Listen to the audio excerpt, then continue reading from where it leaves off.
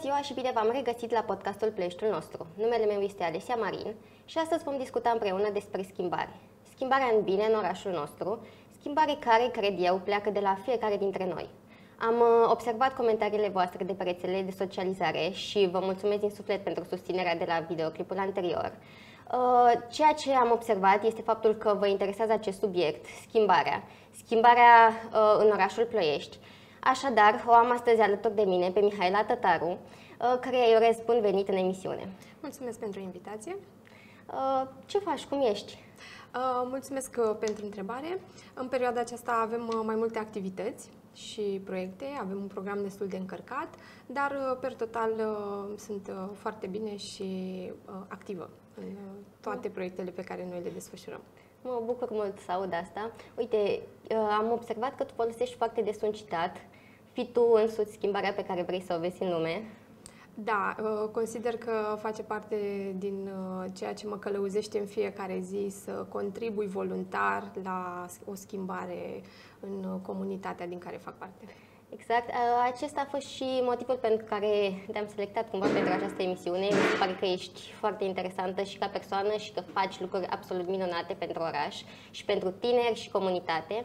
Așadar, știu că tu ești președintele Fundației Județene pentru Tineret, Prahova, și aș vrea să ne spui despre această asociație, cu ce se ocupă, ce evenimente pregătește. Fundația Județeană pentru Tinere Prahova este, de fapt, um, o organizație umbrelă pentru mai multe alte ONG-uri, deși pentru tineret.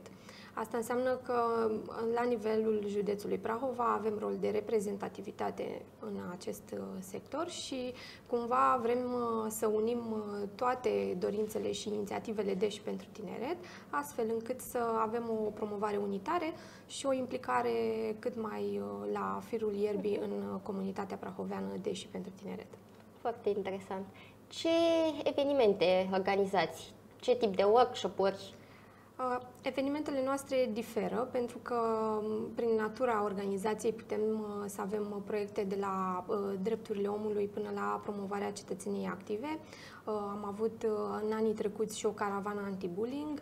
Practic putem să aducem la viață toate ideile tinerilor, indiferent de domeniu, astfel încât fiecare tânăr să poată să-și pună amprenta în comunitate și să își coordoneze propriul proiect foarte interesant. Uite, chiar mi se pare super ideea aceasta că îi faceți cumva pe tineri să se regăsească în proiect, proiectul respectiv și să își poată pune, pune în practică acele idei cu care ei vin practic.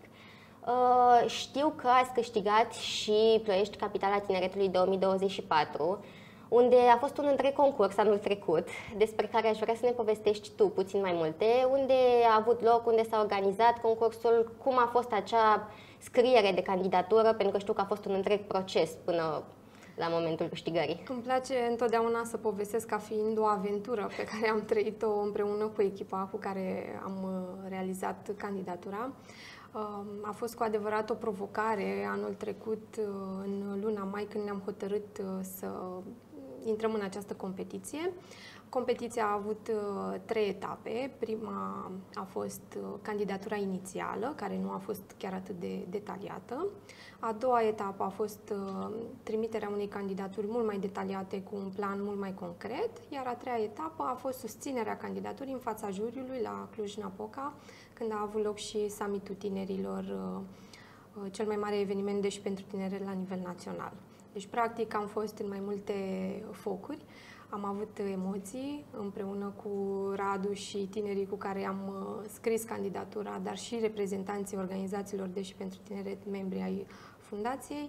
Am fost cumva uh, în priză și conectați la mm, tot uh, procesul acesta amplu, pentru că am traversat o perioadă foarte nefastă pentru orașul nostru anul trecut, și anume lipsa apei calde, care a venit ca o provocare extra în tot procesul nostru de a demonstra că tinerii își doresc o schimbare pentru oraș, dar mă bucur că nu au fost demotivați tinerii și împreună am demonstrat că, indiferent de modul în care este administrat orașul, tinerii au soluții, au energie, au idei și își doresc să contribuie atât cât pot la schimbarea lucrurilor, măcar cu o idee de proiect sau cu implementarea unui proiect în sine.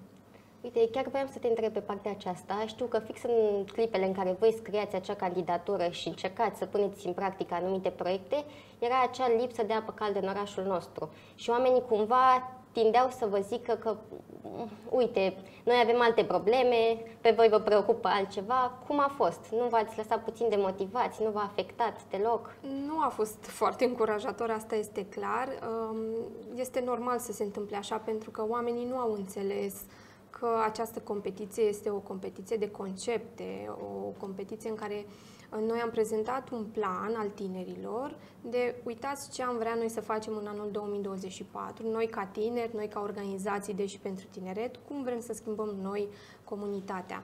Bineînțeles că poate nu s-au înțeles lucrurile și din cauza faptului că prin natura competiției uh, acest program de Ploiești Capitala Tineretului 2024 pe care noi l-am propus va fi implementat în co-management cu primăria municipiului Ploiești. Cumva oamenii nu au făcut diferența între noi ca tineri și organizații și uh, ceea ce face uh, administrația publică locală.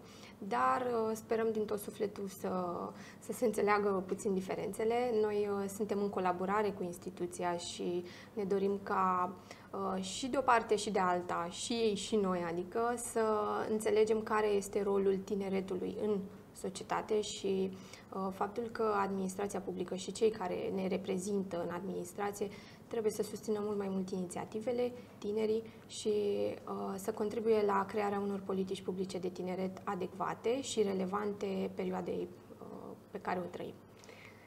Super. Mă bucur din suflet că nu v-ați lăsat demotivați cumva de ceea ce auzeați în momentele respective, pentru că, uite, acum chiar avem o fundație de și pentru tineret, cred eu, care aduce schimbarea în orașul nostru în Ploiești, schimbare în bine. Vreau să, voiam să te întreb, ce planuri ai pentru 2024 uh, pentru această fundație? Noi uh, suntem o echipă care ne-am propus ca în anul 2024 să avem o gamă diversă de evenimente, împreună cu Radu, celălalt manager al programului de capitală, dar și cu reprezentanții organizațiilor membre ale fundației. Vrem să aducem tinerilor cât mai multe oportunități de voluntariat și dezvoltare personală și profesională. Asta înseamnă că ne unim eforturile și fiecare organizație în parte aplică um, pentru finanțare, Uh, desfășoară anumite activități tematice, cumva uh, să nu mai existe acel gând, vai, nu ai ce să faci în ploiești. Uh, ai ce să faci în ploiești dacă depui puțin efort și cauți informațiile acolo unde, unde le poți găsi și dacă um, cumva faci networking și vorbești și cu colegii de clasă care poate chiar sunt voluntari la noi sau într-o altă organizație, mi se pare că um, lucrurile s-au schimbat în, în anul acesta și acum tinerii deja sunt mult mai conectați între ei și cumva informația ajunge mult mai repede către un număr mai mare de tineri. Oportunitățile de voluntariat, uh, tot ce înseamnă proiecte de și pentru tineret, fie că vorbim la nivel local, județean sau național, ajung mult mai, uh, mult mai ușor la tineri pentru că numărul de voluntari s-a, s-a mărit și tinerii vorbesc între ei și um, e fain să vezi că mergi la un curs la București și te întorci acasă și apoi spui ideea în, uh, în practică. Cumva, împuternicirea aceasta este ceea ce îi motivează, iar pe mine mă bucură tare mult să-i văd că se implică. Și sunt sigură că își fac și foarte mulți prieteni noi prin intermediul acestor workshop-uri, acestor evenimente unde ei participă. Uh, legat de transmiterea acesta a informațiilor, vă ajută foarte mult rețelele de socializare. Cum le, cum le spuneți copiilor, tinerilor, unde trebuie să vină, când sunt acele evenimente? Da, bineînțeles că sunt uh, canalul principal de comunicare cu tinerii, mai ales Instagram. Uh, acolo tinerii sunt foarte activi. Uh, folosim și paginile de Facebook pentru că e bine să fim pe ambele rețele. Noi comunicăm cu voluntarii noștri prin intermediul grupurilor de WhatsApp și la ședințele fizice atunci când sunt necesare, dar preponderent pe Instagram și Facebook. Am înțeles.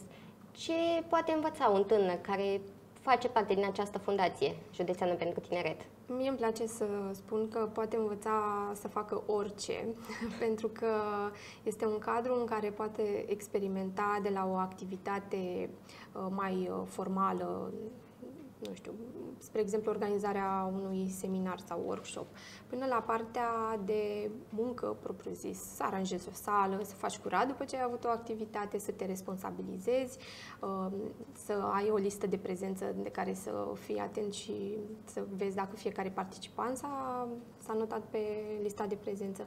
Sunt foarte multe abilități pe care poate în, alt, în alte circunstanțe sau în alt mediu nu le-ar experimenta.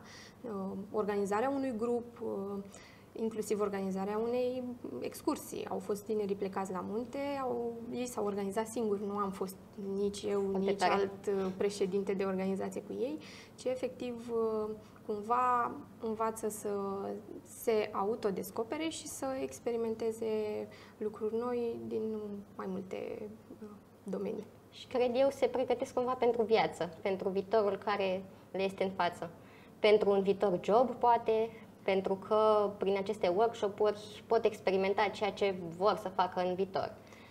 Uh, uite, legat de chestia aceasta, voiam să te întreb, pentru orientarea în carieră, dacă există anumite evenimente uh, avem un proiect în desfășurare, Consiliere pentru Tineri, prin care ne-am propus să consiliem în carieră 100 de tineri pentru început. Tare. Uh, în urma acestui proiect uh, vrem să realizăm un ghid pentru anul următor, pentru a avea un an în care să asigurăm consiliere în carieră în fiecare lună pentru tineri. Și cumva este un nou început în acest domeniu pentru că vrem ca acest serviciu de consiliere în carieră să fie oferit gratuit. Bineînțeles că apelăm la specialiști care vor să ne susțină prin voluntariat și împreună să contribuim uh, la uh, perpetuarea acestui obicei și tinerii să, să găsească la Casa Tineretului uh, întotdeauna specialiști care îi pot îndruma, astfel încât să facă cele mai bune alegeri în carieră. Se pare un aspect foarte important, pentru că știu că sunt foarte mulți tineri care nu știu exact pe ce cale vor să urmeze. Trebuie să spun că uh, nu sunt alese la întâmplare aceste proiecte pe care exact. le desfășurăm, pentru că noi anul trecut, uh, înainte de a scrie candidatura, am avut un chestionar uh, de identificare a nevoilor și uh, de identificarea soluțiilor propuse de tine și ce își doresc ei pentru capitala tineretului, dacă ar fi fost la momentul respectiv să fie ploiești. Și cumva ne-am creionat proiectele în funcție de dorințele lor, astfel încât să fie relevante, pentru că dacă nu ar fi relevante, tinerii nu ar participa. Prin urmare, uh, am identificat nevoia și am scris proiectul împreună cu ei. Acum uh, așteptăm partea de implementare și să vedem după aceea rezultatele. Exact, foarte interesant. Uite, chiar mă gândeam că am și eu foarte mulți colegi și prieteni care nu știu pe ce cale vor să meargă mai departe. Chiar dacă poate sunt la o clasă, nu știu, de mate, info sau de filologie, nu vor să meargă de obicei pe, pe această cale. Foarte mulți dintre ei. Am observat chestia aceasta. Uh, voiam să te întreb, se vede diferența dintre un tânăr care se implică și un tânăr care nu se implică? Oh, de la o poște, cum aș spune românul. Um, mai ales în momentul în care lucrezi cu tinerii, îți dai seama foarte ușor care dintre tineri uh, este implicat în activități de voluntariat și care nu. În primul rând, uh, prin activitățile de voluntariat, uh, se dezvoltă personal foarte mult. Abilitățile de public speaking, modul de a, se, de, de a se prezenta, de a se introduce în momentul în care îi se dă cuvântul sau de a susține o activitate și la nivel uh, profesional. Sunt tineri care învață foarte repede anumite noțiuni și descoperă că, spre exemplu, ar putea să le placă domeniul uh, drepturilor omului. Uh, și cumva își găsesc drumul mult mai ușor, identificând niște abilități la care poate nu s-au gândit în mod normal. Și cumva se, se vede diferența inevitabil. Mă bucur mult că în orașul nostru, în Ploiești, există o astfel de fundație care chiar face ceva pentru tineri și care chiar își dorește să contribuie cumva la schimbarea despre care vorbeam puțin mai devreme. spune Bineînțeles că asta nu se poate fără tineri. Urma. Fundația este, da, o umbrelă, o entitate, dar meritul este al fiecăruia în parte. Nu există o persoană care să-și abroge tot uh, Normal. meritul, ci fiecare în parte prin dorința de implicare, pentru că dacă un tânăr nu-și dorește să, să participe la activități, să, nu știu, meargă într-un proiect, atunci nu putem să vorbim despre dezvoltare. Deci, cumva, suntem uh, ca un lanț legați așa unii de alții și doar asta o să contribuie cu adevărat la dezvoltarea sustenabilă. Este vorba despre o echipă, din punctul meu de vedere, despre tinerii care contribuie, despre tinerii care se implică, despre mentorii care se dedică astfel încât să învețe pe tineri. Totul merge fix ca o echipă. Exact. Bun, acum aș vrea să vorbim puțin despre tine. Pe plan personal, cum ești, dacă poți să te caracterizezi în câteva cuvinte? Um, îmi place să cred despre mine că sunt o persoană foarte ambițioasă, uh, perseverentă și dedicată. Um, toate acestea m-au ajutat să, să ajung unde sunt astăzi și uh, cred că așa ca o cireașă pe tort e faptul că atunci când fac orice, uh, pun foarte mult suflet și pasiune. Cel nu, important. Nu pot, să, nu pot să particip la o activitate sau să nu știu, fac un proiect dacă nu cred în el și dacă nu sunt 100% convinsă că este ceea ce trebuie să fac în momentul respectiv. De acord. Uite, mie mi se pare că dacă nu se vede pasiunea și nu o simți tu, în primul rând, în suflet, ceilalți observă că nu-ți place să faci chestia respectivă, că nu vrei să fii în momentul respectiv în locul acela. Da, așa este. Uh, care este cel mai fain lucru pe care l-ai făcut anul acesta? Anul acesta uh, a fost uh, vacanța mea la Roma și cam atât momentan. Anul trecut, bineînțeles că a fost toată competiția pentru obținerea titlului de capital a tineretului. Uh, dar uh, pentru anul acesta, cred că vacanța la Roma a fost binevenită, meritată și a fost ceva care chiar uh, mi-a fost de folos. Îți place să călătorești? Da, dacă aș putea să călătoresc mai mult, aș face cu siguranță. Și mie îmi place foarte mult. Mi se pare foarte interesant să vezi lumea, universul înconjurător. Care este cel mai fain lucru pe care ți-l propui pentru anul viitor, pentru 2024? Îmi doresc ca anul 2024 să fie memorabil pentru toată lumea, pentru toată comunitatea și cumva să ajungem cu adevărat să înțelegem cuvântul împreună, fie că vorbim de relația autorități, ONG-uri, ONG-uri tineri, voluntariat. Îmi doresc din tot sufletul ca 2024 să fie un an memorabil cu activități și evenimente de și pentru tineret, astfel încât tinerii să vadă că Trebuie doar să-ți dorești și să muncești pentru, pentru schimbare, pentru că inevitabil o să vină și schimbarea. Uh, cred că asta îmi doresc cel mai mult pentru anul 2024. Așa să fie, mă bucur mult că există astfel de persoane care chiar susțin ideea aceasta de schimbare și apropo de schimbare, voiam să te întreb, uite, în copilăria ta, de exemplu, să ne întoarcem puțin în timp, dacă a existat un anumit eveniment sau, nu știu, o anumită persoană care ți-a declanșat cumva această dorință de a schimba uh, orașul, de a schimba lucrurile în bine. Um, fac parte dintr-o familie care de-a lungul timpului um, a investit foarte mult în, în educația noastră și cumva a venit natural din conversațiile din familie și uh, prin faptul că părinții noștri purtau discuții cu noi de mici cu privire la vot, cu privire la, uite, ce s-ar putea schimba în comunitate dacă s-ar face lucrurile așa. Um, Cred că de aici au pornit lucrurile, din familie.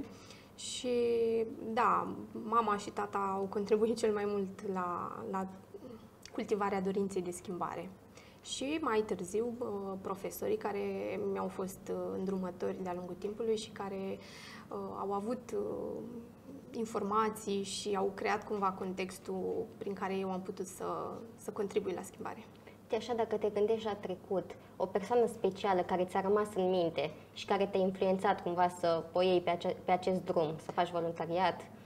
Am început să fac voluntariat din 2011, când eram clasa 11 și uh, doamna profesoară de limba și literatura română, Corina Barbu, a fost cea care m-a încurajat și care cumva a văzut uh, acea sclipire în mine și a crezut mai mult în mine atunci. Și a fost cea care mi-a dat uh, cumva aripi în domeniul acesta. Uh, datorită ei am început să fac voluntariat și uh, mă bucur tare mult acum că sunt contexte în care colaborăm și ne întâlnim și cumva e așa o mândrie să ne întâlnim la activități și da, datorită ei am început voluntariatul. Mi se pare foarte interesant. Chiar există profesori care îi susțin pe copii spre partea aceasta de activități extrașcolare, astfel încât să se poată dezvolta pe plan personal, să-și poată dezvolta abilitățile de comunicare, să socializeze, să-și facă prieteni noi și totodată să învețe foarte, foarte multe aspecte despre lumea înconjurătoare, despre oraș, uh, despre mai multe domenii pe care le-ai enumerat și tu puțin mai devreme.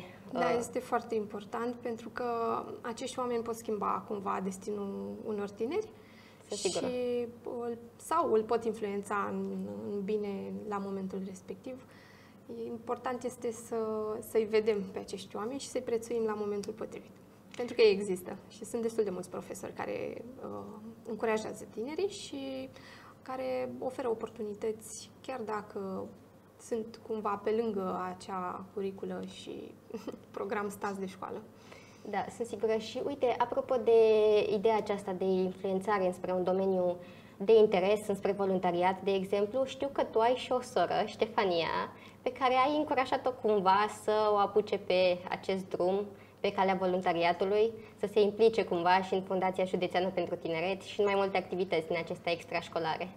Da, povestea cu Ștefania e un pic uh, ciudată, pentru că um, diferența dintre noi două este de 11 ani și la început nu voia să se implice în activități pentru că mereu îmi spunea, vai, vezi că o să zică lumea că m-ai adus tu pe pile și am zis, nu, că la voluntariat nu e așa și cumva a înțeles uh, că până la urmă e în regulă să participe și ea la activități, deși și acum mai are de multe ori așa emoții și mă întreabă, pot să vin și eu? Dar um, nu doar cu ea am, uh, am avut uh, această discuție, ci și cu alți prieteni sau cunoscuți pe care i-am încurajat să facă voluntariat, fie la fundație, fie în alte organizații, pentru că de-a lungul timpului am întâlnit tineri care au mers la studii la București și um, văzând pe propria mea piele care sunt beneficiile voluntariatului, le-am recomandat. Când ajungeți la universitate, căutați organizația studențească de la facultatea unde sunteți. Și, practic, cumva, asta e recomandarea mea în general pentru tineri, fie că vorbim de liceeni, fie că vorbim de studenți, cumva îi încurajez să meargă să, să caute oportunități de voluntariat. Nu am impus niciodată o anumită organizație sau un anumit domeniu, ci fiecare este, este dator să-și caute cumva drumul și domeniul în care își dorește să activeze. Exact, și să se orienteze cumva spre ceva care să-l ajute în viitor, înspre un viitor job sau, nu știu, înspre o viitoare, un viitor domeniu pe care vrea să-l urmeze la liceu, la facultate, poate. Da, este o perioadă în care se pot uh, testa mai multe domenii și mi se pare un avantaj extraordinar, pentru că este o unealtă la îndemână uh, care poate fi folosită la maxim în beneficiu fiecăruia parte. Exact, și îți poți alege exact ce vrei să faci pe viitor. Adică prin aceste workshop-uri, din punctul meu de vedere, poți să vezi, uite aici mă pricep, asta îmi place să fac, aici nu mă pricep foarte bine, o lăsăm mai moale. Uh, uite, legat de sora ta, voiam să te întreb, tu te consideri așa un model pentru ea, pentru că a inspirat-o cumva în partea aceasta? Um, fiind sora mai mare, cutuma spune că implicit, teoretic, ar trebui să fiu un model. Nu mă consider neapărat un model eu personal, dar mă străduiesc atât cât pot să, să aibă ce să învețe de la mine, astfel încât mm, să fie cumva mm, nu știu, mândră că, că a avut ce să învețe de la mine și că are ce să învețe de la mine. Um, Acum suntem personalități diferite, nu, nu e bine nici să punem presiune, vai, ia uite, sora mai mare, ce model frumos de urmat, nu, nu, nu e ok. Um, dar cu siguranță sunt lucruri pe care le-am învățat de la mine, inevitabil, pentru că Normal. așa e, așa e mersul da. lucrurilor. Uh, și bă, sper din tot sufletul ca experiența ei de voluntariat să nu fie umbrită de, de activitatea mea, pentru că asta este temerea mea cea mai mare. Dar, uh, bineînțeles, fiecare este suma alegerilor pe care le, le ia și cumva fiecare este cu calea ei, indiferent de uh, dorința mea și indiferent de cât de multe sau puține am învățat de la mine. Te-am întrebat pentru că și eu am o soră mai mică, Bianca, se uită cu siguranță la acest podcast. Uh, și pățesc exact același lucru. Am încercat cumva să o încurajez spre acest domeniu de voluntariat, să se implice cumva în, spre schimbarea aceasta în bine a orașului. Uh, și pentru că vorbeam de activități de voluntariat, ne-ai spus mai devreme că tu ai început undeva din anul 2011. Da. Înainte să fii tu președinte și toate funcțiile pe care le ai, ai început undeva prin a te implica în workshop-uri ca orice participant. Dacă poți să ne enumeri uh, asociațiile unde um, ai, fă, de, unde ai uh, luat parte la acele workshop-uri sau... Am început în liceu cu voluntariat la școala 2. Mergeam și uh, aveam activități cu copiii de acolo. Nu erau chiar cele mai ușoare activități pentru că este o școală pentru copii cu cerințe educative speciale, dar am învățat foarte multe lucruri și m-a ajutat cu siguranță să învăț cum să-mi gestionez comportamentul um, și modul meu de a fi cumva a fost influențat în acea perioadă. Uh, după aceea am, am uh, participat la European Youth Parliament, am fost implicat o, o perioadă în facultate am fost uh, la Asociația Studenților Europeni AEG Ploiești. Acolo am început ca simplu voluntar, coordonator de activități pe uh, promovarea valorilor democrației europene și instituțiilor europene. Și am devenit coordonator resurse umane, vicepreședinte, președinte, cumva le-am luat treptat, ceea ce a fost de foarte mare ajutor, uh, până când am ajuns la nivel european Network Commissioner și drumul meu s-a oprit la un moment dat pentru că s-a terminat și perioada studenției, dar uh, când încă eram președinte în organizația studențească, am participat uh, la înființarea Fundației Județene pentru Tinere Prahova în 2017, când uh, Radu Simionescu a înființat fundația cu dorința de a depune prima candidatură pentru obținerea titlului de capital a tineretului pentru anul 2018. Nu a fost să se întâmple atunci uh, marele eveniment, dar uh, cumva uh, a fost sădită acea speranță la care eu am aderat și mi-am găsit o nouă echipă de oameni care credeau în niște idei și în niște proiecte altfel decât făcusem eu până la momentul respectiv și mi s-a părut o provocare pe care am acceptat-o mutual și am rămas, am rămas în echipa Fundației Județene pentru Tine Prahova. Uh, până acum când uh, am devenit președinte.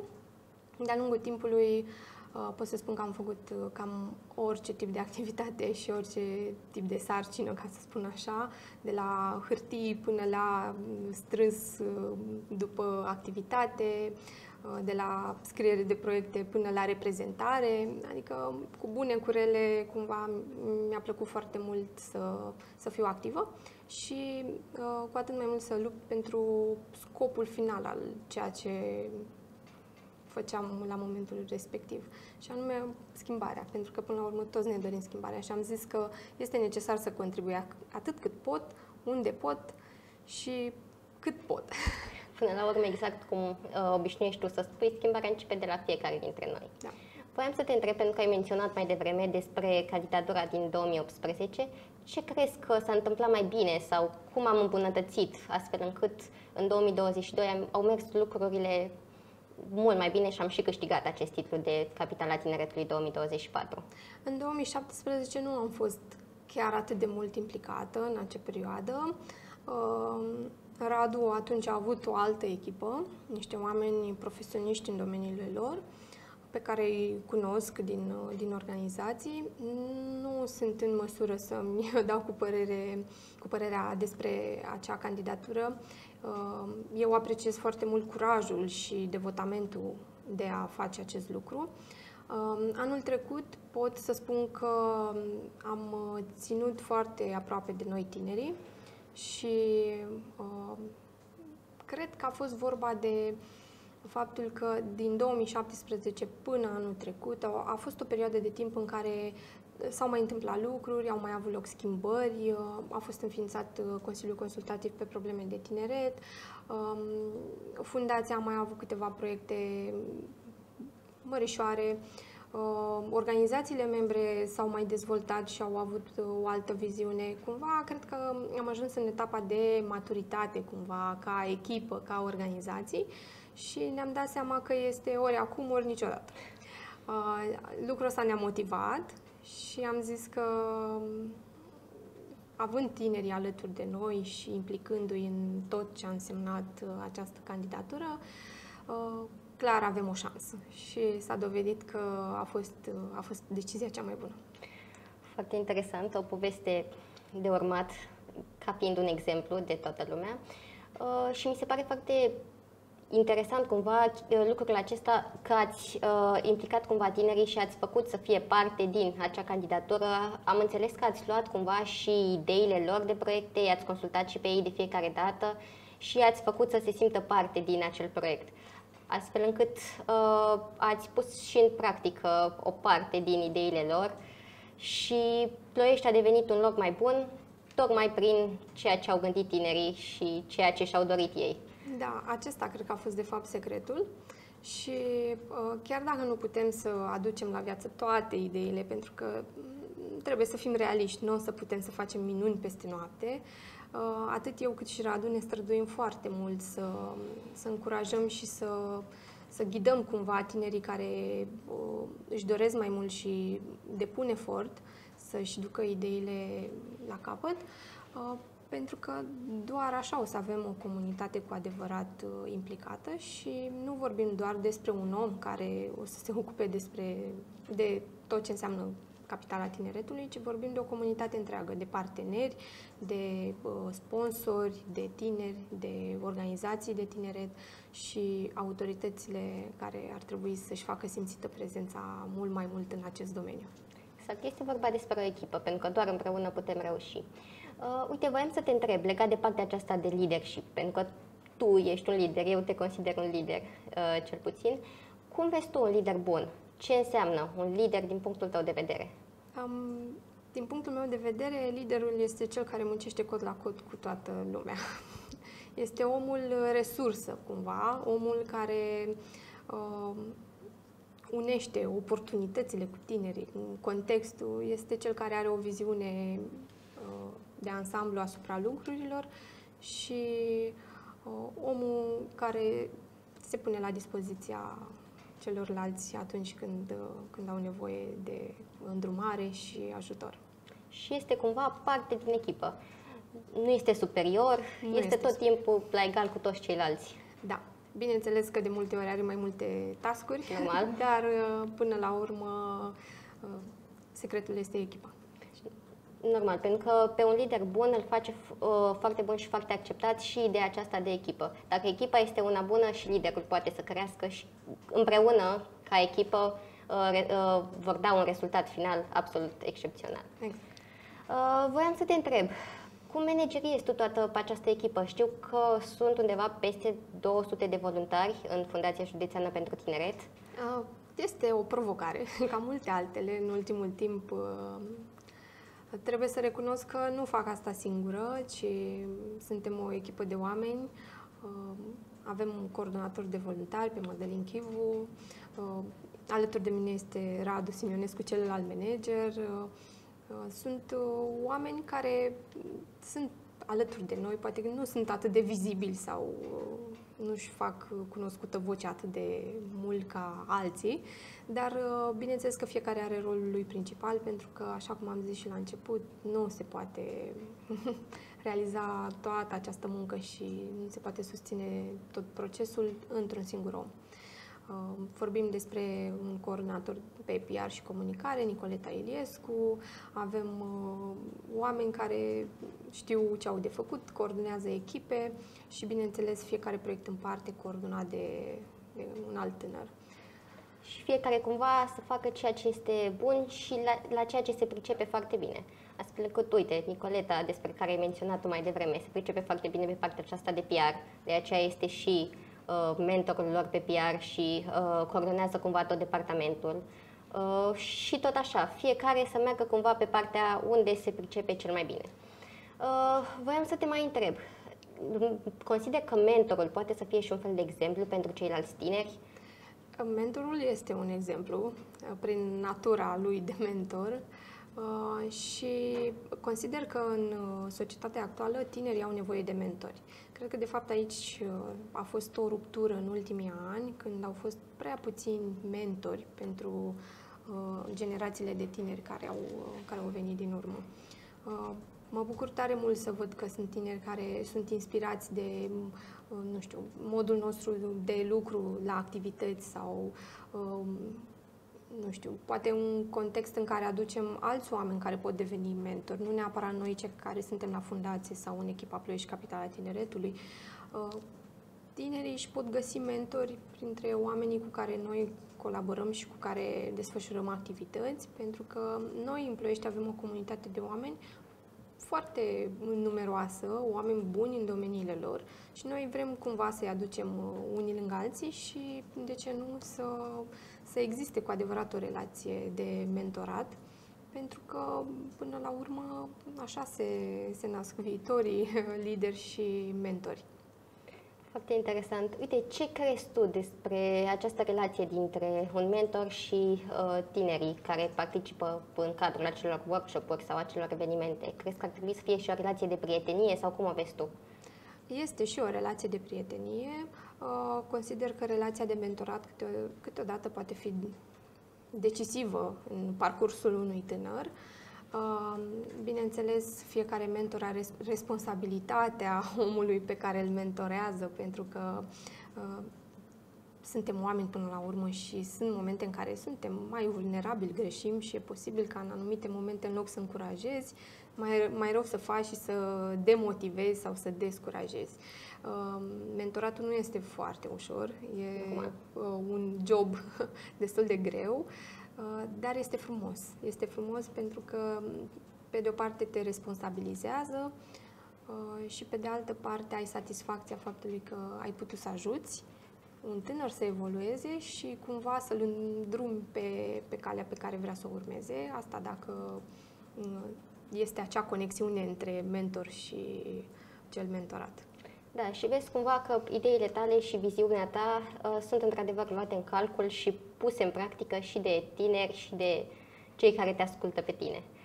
Uh, acum vreau, aș vrea să vorbim despre partea aceasta de public speaking. Știu că te pricepi foarte bine și ai ținut, facilitat foarte multe workshop-uri. De unde această pasiune, pot să o numesc? Sau... Nu a fost o pasiune întotdeauna. Uh, Uh, trebuie să recunosc că prima experiență a fost uh, marcantă pentru că am început în perioada studenției, când trebuia să țin uh, un, un atelier de educație civică la un liceu din Ploiești, împreună cu un fost coleg. Colegul nu a mai venit la activitate, am fost pusă în postura de a fi foarte rușine față de directorul instituției și a trebuit să încep activitatea fără, fără acel coleg într-un anfiteatru plin de elevi. Atunci a fost momentul în care în creierul meu s-a produs acel declic și am zis trebuie să te descurci acum. um, și cumva a venit natural. Am fost pusă în situația de a uh, prezenta organizația studențească, de a merge la conferințe uh, și am ieșit foarte mult din zona mea de confort și întotdeauna a trebuit să învăț cum să fac lucrurile pentru că în voluntariat nu e cineva care stă lângă tine și strasează direcțiile, ci de multe ori le înveți făcându-le. Uh, learning by doing este, cred că, ceea ce definește cel mai bine voluntariatul și, de fapt, asta am făcut. Așa am evoluat. Nu mă consider extraordinar de bună la public speaking. Întotdeauna uh, este loc de și mai bine și uh, Cert este că în fiecare zi trebuie să învățăm să ne gestionăm emoțiile, să ne exprimăm. Sunt momente în care avem zile bune, zile mai puțin bune și, normal, practic, normal. trebuie să rămânem conectați la, la mediul în care urmează să vorbim și despre ce anume vorbim. Deci este o provocare în continuare public speaking. Mulțumesc pentru descrierea făcută, dar mă consider încă o învățăcică și mai am mult până la stadiul de public speaking așa cum ar trebui. Te-am văzut la anumite workshop-uri și chiar mi-a plăcut foarte mult modul în care vorbești. Felicitări! Și uite, legat de ce ai spus tu mai devreme, modul acesta în care trebuie cumva să te arunci astfel încât să poți să înveți. Uh, uite, eu consider că trebuie să te arunci cumva în mare, chiar dacă nu știi întotdeauna să noți, vei învăța pe parcurs. Vei primi un colac de salvare, poate, sau, mă rog, metaforic vorbind. Uh, și da și nu. Uh, sunt uh, adepta a ceea ce spui, dar în același timp trebuie să recunosc că mm, de multe ori îmi, plac, îmi, îmi place să-mi fac planul A, B, C, D, cât se poate de detaliat, astfel încât să-mi dau seama dacă sunt uh, capabilă în momentul în care consecința va veni să, să fac față acea la acea consecință. Deci ești, deci ești o fire foarte ordonată cumva și care pune la punct toate lucrurile dinainte.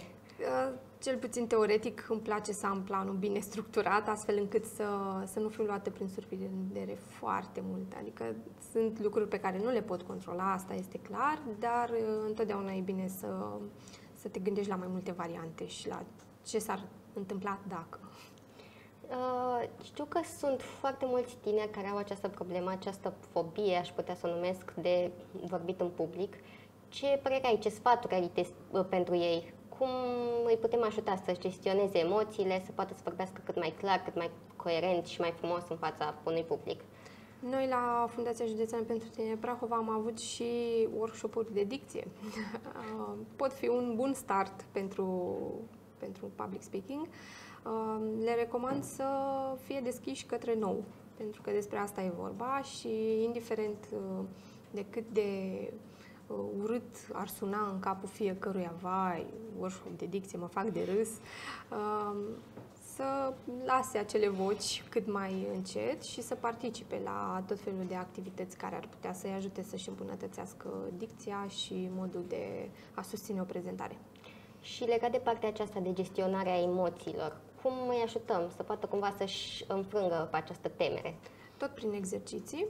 Uh, eu îmi doresc foarte mult să avem și niște exerciții de artă teatrală la, la Casa Tineretului, uh, tocmai pentru a pune sub formă de joc în anumite contexte tinerii, astfel încât să vadă cum își pot gestiona emoțiile și cum pot uh, să, să fie cât mai ok ei cu ei în primul rând încât în momentul în care provocarea se iubește să, să știe ce au de făcut.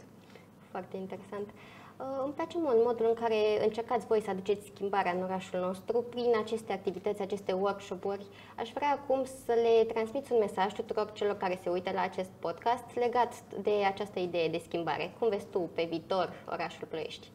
Orașul Ploiești are o șansă doar prin fiecare dintre noi, prin implicarea noastră și um, trebuie să lăsăm cât mai uh, la o parte vocea și gura lumii, pentru că, bineînțeles, atunci când ești implicat într-o activitate, nu mai ai timp să auzi ce spun în stânga, în dreapta, dar dacă te mulțumește și te ajută să te dezvolți pe tine, acea activitate este tot ceea ce contează.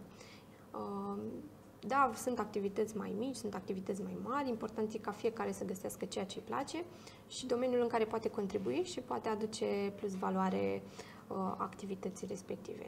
Fiecare dintre noi avem un loc, asta e clar, și îmi doresc din tot sufletul ca uh, tot ce vom face în 2024 să fie pe placul și pe uh, calapodul tinerilor ploieșteni, că despre asta este vorba.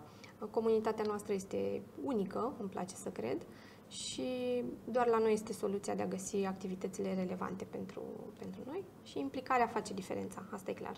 Îți mulțumim, Mihaela. Ne împărtăși niște informații foarte importante de care sunt sigură că toți plăieștenii vor beneficia văzând acest podcast. Pentru voi, vă mulțumim pentru visionare și țineți minte, uh, schimbarea pornește de la fiecare dintre noi, așa cum obișnuiește să zică Mihaela Tătaru. O zi bună! La revedere!